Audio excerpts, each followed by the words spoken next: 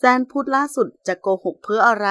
ยันแตงโมปัสสาวะท้ายเรือจริง อยากให้คดีจบไวๆ กรณีแซนวิสาพัฒน์พร้อมทนายความ แจ้งความเอาผิดจินสามีหนิงปณิตาข้อหาหมิ่นประมาท พร้อมเรียกค่าเสียหาย8หลัก ล่าสุดแซนเปิดใจถึงคดีแตงโมนิดา โดยผู้สื่อข่าวได้สอบถามความเห็น กรณีตำรวจแถลงข่าวสรุปสำนวนคดี และแถลงชี้แจงนำภาพบาดแผลจากสำนักข่าวต่างประเทศ มาใช้แถลงข่าว ซึ่งแซนวิสาพัฒน์ ก็ไม่ขอแสดงความคิดเห็นต่อเรื่องดังกล่าว ภายหลังเข้าพบพนักงานสอบสวน แซนวิสาพัฒน์กล่าวถึงคดีการเสียชีวิตของแตงโมว่า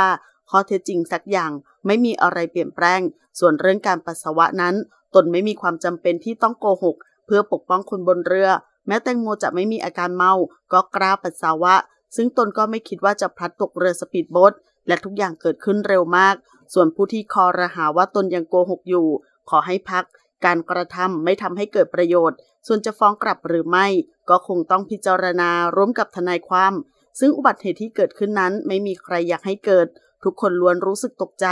ขณะนั้นทุกคนทำดีที่สุดแล้ว ไม่มีใครอยากให้เพื่อนเสีย ส่วนเรื่องการฆาตกรรมก็ขอให้หยุดพูด ส่วนประเด็นที่รู้จักคนใหญ่คนโต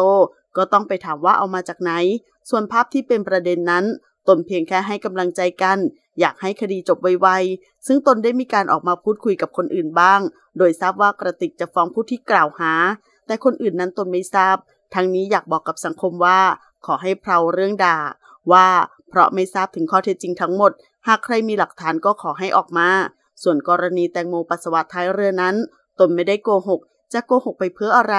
ส่วนจะปัสสาวะอย่างไรนั้น ตนก็ไม่ได้ไปนั่งจ้อง เพราะเป็นเรื่องส่วนตัว ซึ่งในวันเกิดเหตุนั้น พวกตนพยายามอย่างสุดความสามารถ ที่จะหาร่างของแตงโมแล้ว โดยทุกคนที่อยู่ในที่เกิดเหตุกันชั่วขณะหนึ่ง แต่ตกใจเพราะมีสื่อมวลชน จึงออกไปจากที่เกิดเหตุหลังจากนั้น ซึ่งทุกคนไม่สามารถรับมือกับเหตุการณ์ลักษณะนี้ได้